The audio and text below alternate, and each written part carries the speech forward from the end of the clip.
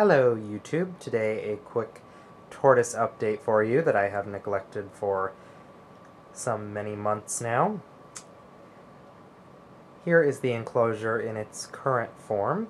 I don't think I've made any real structural changes. The only changes that you will notice are a few in terms of design. To be honest with you, I don't really remember what the enclosure looked like at the time of my last video because that was many moons ago.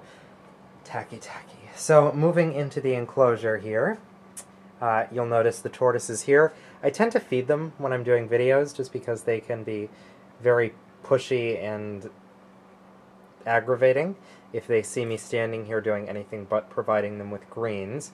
Uh, so Sheldon on the left, or on your right here, and Ms. Shell on the left. Um, and they are enjoying spring mix tonight. And then just to talk about the enclosure as I go through a little bit, uh, we have this little faux succulent garden here. I like to put something between their dishes just because they are less tempted to go over and see if the grass is greener on the other side, uh, if you will. So it kind of creates a visual block and uh, keeps the tortoises in their own dishes. We've got our little rock wall underneath the second story here with a burrow underneath. This is a pre-made burrow, nothing too creative about it. But because it is too large to fit anywhere else, I wedged it underneath the second story. Staying on the first level for a moment, I have a water dish, more fake plants. Uh, our half-log hide, very loyal one at that. It has been with me since the beginning and has yet to run away. Uh, the basking area over here with aspen bedding. The rest of it is a mix of sand and coconut fiber as usual. Uh, you'll notice a couple of decorations in here that you may recognize from my other videos uh, for the hermit crab and gecko tank. That tank no longer exists as the animals no longer live here. Um, I'm not going to talk about that in this video because this is all about the shelled beasts seen here. Uh, so we'll we'll address that elsewhere. Um, very basic changes, like I said.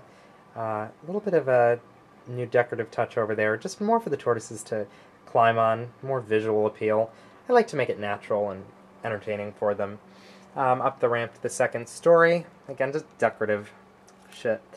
Um, we have a substrate, if you can call it that, of timothy hay, which the tortoises will occasionally nibble on if I starve them long enough, uh, meaning for more than two hours, given the, their constant appetite, kind of like me.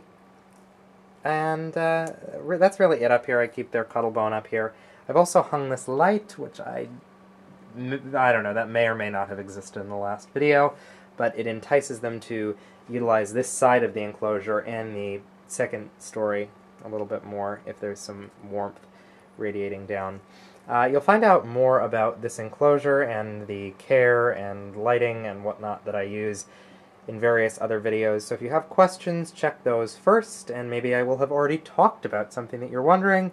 Um, and that's really it for the tortoise enclosure. I'm probably leaving something out, but I don't really even remember how to do one of these videos. It has been so long. Okay, so you'll probably see the tortoises again in another 10 years.